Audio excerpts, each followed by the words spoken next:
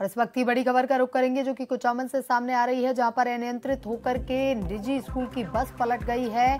Kuchaman city हादसे में दो दर्जन से अधिक छात्र हुए हैं। चोटिल सभी घायल बच्चों को अस्पताल में भर्ती करवाया गया है। इस वक्त की बड़ी खबर, कुचामन रिंग रोड पर निजी स्कूल की बस पलटी है। बेकाबू होकर निजी स्कूल की बस पलटी। हादसे में दो दर्जन से अधिक छात्र हुए हैं। चोटिल सभी घायल बच्चों को अस्पताल में भर्ती करवाया गया है। कुचामन रिंग रोड पर निजी स्कूल की बस पलटी है।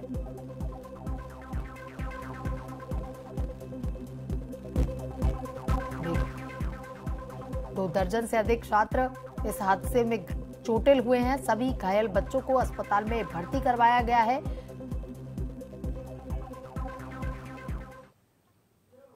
और इसी खबर पर ज़्यादा जानकारी के साथ हमारे संवाददाता ओम प्रकाश फ़ोन लाइन पर जुड़ चुके हैं। ओम प्रकाश निजी स्कूल की बस पलटी है।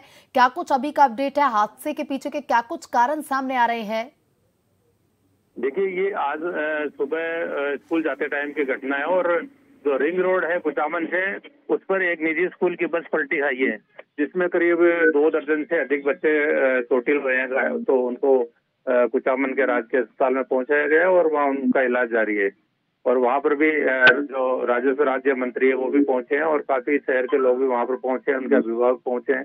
हालाँकि सभी जो विद्यार्थी है वो खतरे से बाहर बताए जा रहे हैं और केवल उनके चोट वगैरह लगी है और उसका कारण अभी तक जो सामने आया उसमें बताया जा रहा है कि स्टीयरिंग जो रोड है, उसमें कोई तकनीकी खराबी के कारण ये बस पलटी हुई है और पलटी खाते आसपास के लोगों ने वहाँ मदद की और बच्चों को बाहर निकाला और तुरंत उनको अस्पताल में पहुँचाया जिसपे था।